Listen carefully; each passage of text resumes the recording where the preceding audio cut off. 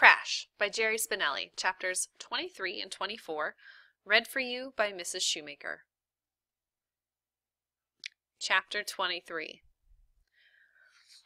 On the football field, I don't run around people. I run through them.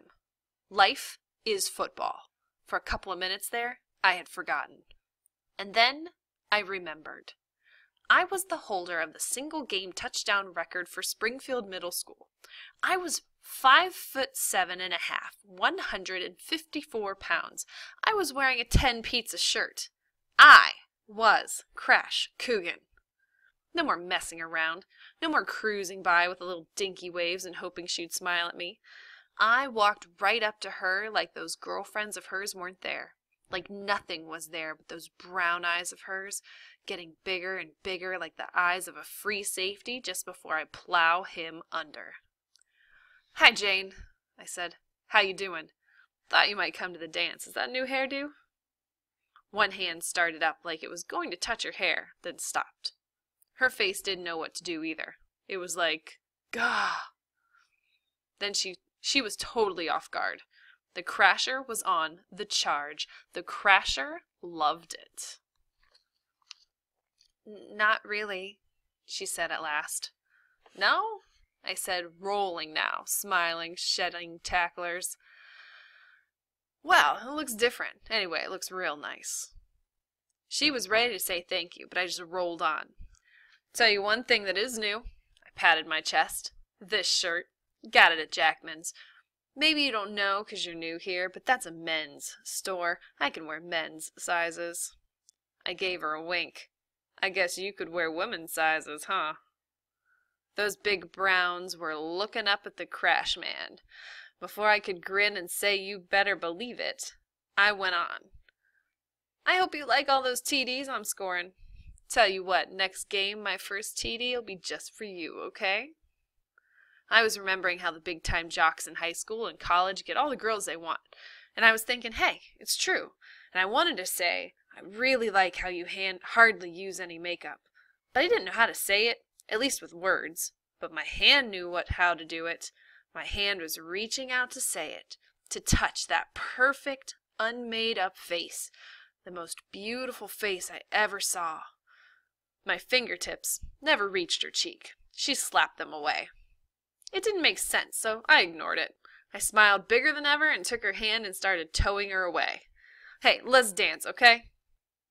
She jerked her hand out of mine, and for the second time in five minutes, I heard that word, no. I said, huh? She jabbed her hands into her hips. She glared. Who do you think you are? I grinned. I don't know where I got the words. I don't know if I got the words from a movie or what, but they were there. I'm the answer to your dreams, baby. Stone cold silence. Frozen face. For the first time ever, she was looking at me, really looking. And then she laughed. Not giggled, laughed. Her friends laughed. They kept on laughing. Jane had her hand over her mouth, another had tears, another was doubled over, cramping up. I knew they were laughing at me. But if they thought I cared, they didn't know me. Crash Coogan never, got it, never gives up. So I just cranked up a chuckle of my own, reached out and took her hand again, and headed back out to the dance floor. This time, when she tried to yank herself free, she couldn't. The grip of iron had her. And then she kicked me, right above my heel, in my Achilles tendon. My leg buckled. I let go of her. I turned. I was about ready to stop being nice. Hey, I said, what are you trying to do? You know what you just did? I didn't wait for an answer. You just kicked my Achilles tendon. Do you know that's about the worst thing you could do to a running back? If you snap your Achilles, you're out for a year minimum, maybe two. And even after that, you might never be the same. I glared at her, letting it sink in.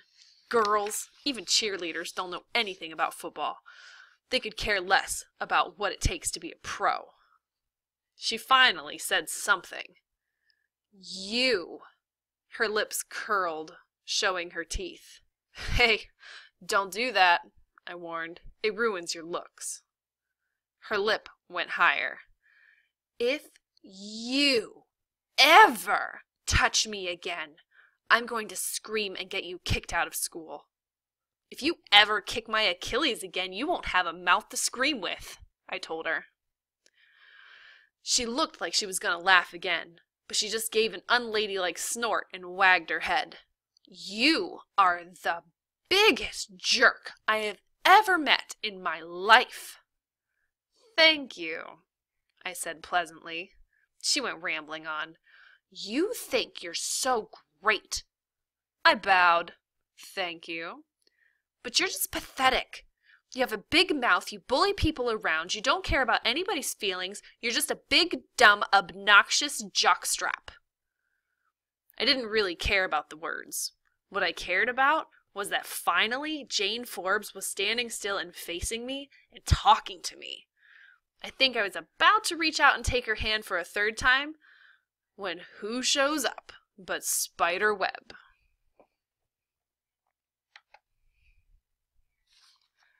Chapter 24 He was wearing his usual thrift shop rags, except for the shirt.